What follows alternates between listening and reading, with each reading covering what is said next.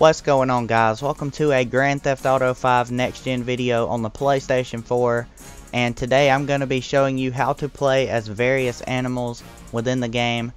I know that sounds crazy, just hear me out, I'm going to show you guys how to get here. This specific location is located on Mount Chiliad.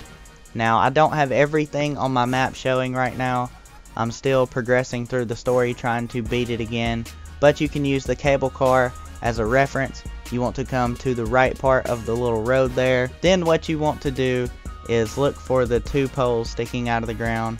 We're going to have our little red flags flying off of them. You want to walk to the right side and you're going to see a peyote plant. You're going to be able to hear it if you can't see it. So anyways, there it is. Let's go ahead and watch Franklin as he eats this plant and transforms into a hawk.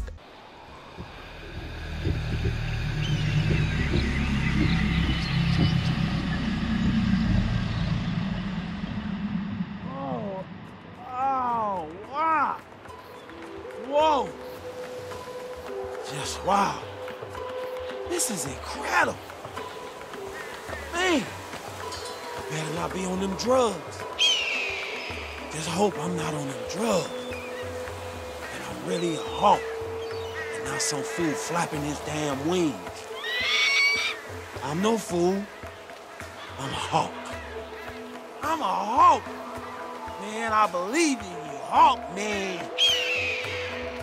So Franklin ate himself a peyote plant and he started hallucinating and now we are a hawk flying across San Andreas. And we're pooping. Yes, that is poop. You can do that whenever you want to. I thought that was absolutely hilarious.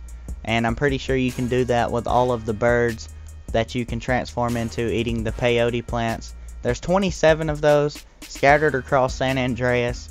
And each one that you pick up is going to turn you into a random animal and the one I did on Mount Chiliad in this video, I didn't save the game so I could go back to it and get different clips. So I just reloaded every time and went back to it as a different character. I also went to it as Michael, who transformed into a seagull, but I decided to leave that out of the video since it was pretty much the same thing as the Hawk. But yeah, you can go to any locations where these peyote plants may be.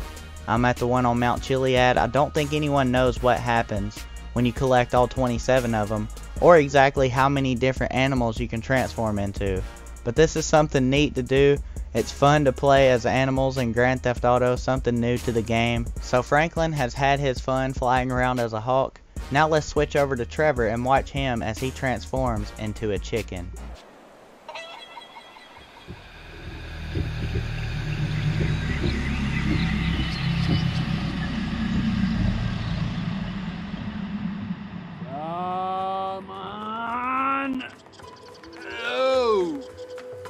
Oh, shit. Wow. Fuck, wow. This is... This is not good at all. This is me being a chicken. My... lunch? Are you joking? Whoever you are? You laughing at me? Me being a chicken? I'll fuck you up! Seriously, peck your balls off. So there you have it. Trevor is a chicken. There's not a whole lot you can do being a chicken. You can't fly.